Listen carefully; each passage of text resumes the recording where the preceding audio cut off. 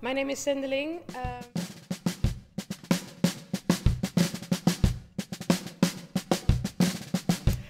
my name is Zendeling. Zendeling means missionary in English, and I called myself Sendeling because um, I see myself as a channel for God to work through, a channel for God to bring the gospel to people, to for people to experience God in all His glory and all His power.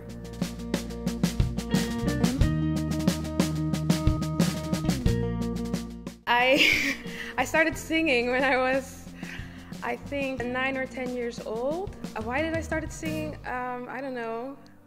It was fun. it was fun to do, I guess. And yes, I, I discovered that I loved singing about Jesus more than I loved just the singing. So.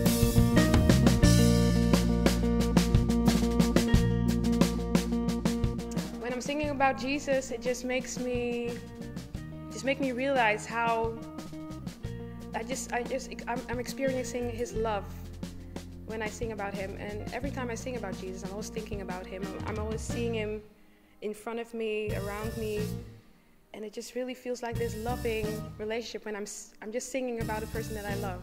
That's what it feels like. Funny story. Um, we had this music teacher. He gave me this assignment to to write a song. I had never written a song before, so I struggled because I didn't know how to start. And eventually, I had written the song, and one way or another, I couldn't stop writing.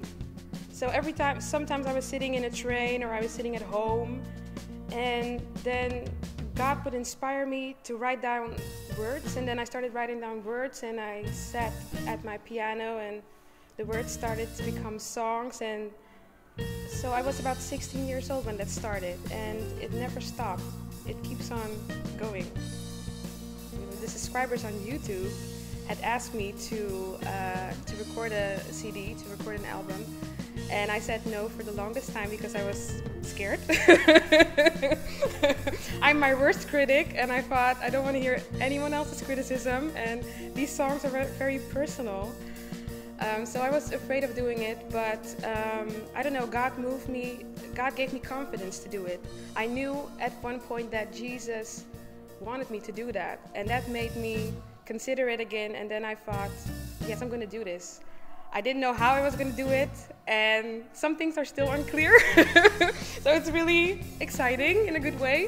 Um, but I guess my relationship with God had to deepen to that point that I could do that because it's really a, s- stepping. It's really stepping in faith, and uh, I'm not afraid anymore.